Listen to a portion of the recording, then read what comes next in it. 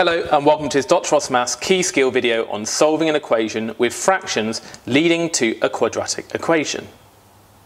Now in previous videos we looked at how we could add together algebraic fractions and basically whenever you see an equation where you've got algebraic fractions added or subtracted you should always combine them into a single fraction first.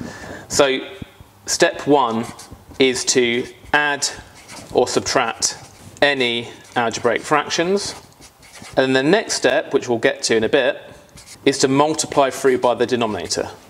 So multiply both sides of the equation by the denominator of the fraction, and that will get rid of any fractions in your equation. And then you'll get a quadratic equation, and you're going to solve that quadratic equation probably by factorization. And we saw in previous videos how to factorize and solve a quadratic equation. So let's do step one add subtract any algebraic fractions.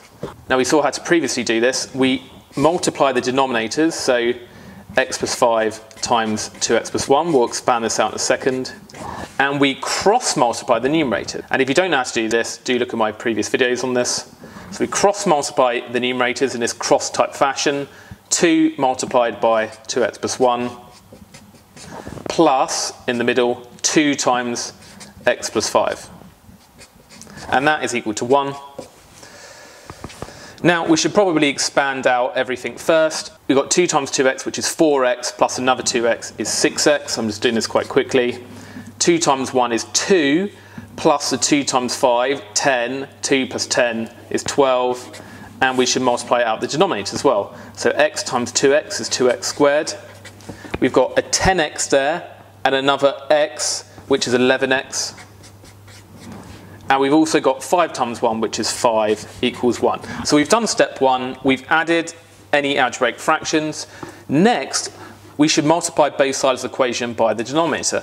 Now, the motivation here is that we don't like fractions and equations. And whenever we have a fraction and equation, we should multiply through by the denominator so that we don't have a fraction anymore. So we're going to multiply through by this. If we multiply the left-hand side of the equation by 2x squared plus 11x plus 5, that just gets rid of the over 2x squared plus 11x plus 5, and you get the 6x plus 12. And if you multiply the 1 by 2x squared plus 11x plus 5, well, 1 times anything is itself, so you get 2x squared plus 11x plus 5. So this is starting to look good. We've got an equation now where there's no fractions at all. So now we solve the quadratic. So remember how to solve a quadratic equation. We want 0 on one side. And we should put everything else on the side where the x squared will be positive. So let's put everything on the right hand side so we have a positive x squared term. We're going to subtract 6x. So we subtract 6x from this, we're going to get 5x.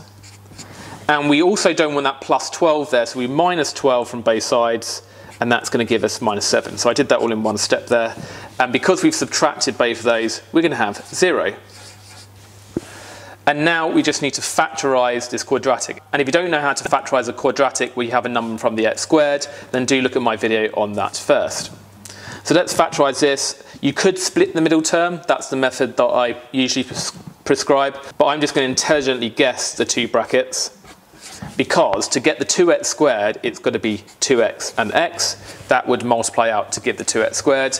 And to get to the minus 7, well, because 7 is prime, it's got to be 7 and 1 and one of them's got to be negative. So if I make this plus 7, that gives you 7x, and if I make that minus 1, that gives you minus 2x. 7x minus 2x will be 5x, which is right.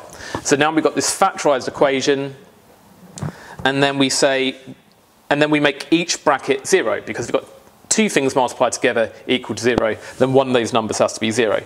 Now if 2x plus 7 is 0, do you remember the quick way to do it is you negate that, so minus 7 divided by whatever number's from, from the x, so it's minus 7 over 2. Or, if you negate that, so you get plus 1, so x is 1 is the other solution. Let's just check those. If we use the 1 in this equation, we get 2 over 1 plus 5, which is 2 over 6, that's a third. And 2 over 2 plus 1, that's 2 thirds a third plus two thirds is indeed 1. So 1 will be a solution to this equation because 1 satisfies this equation.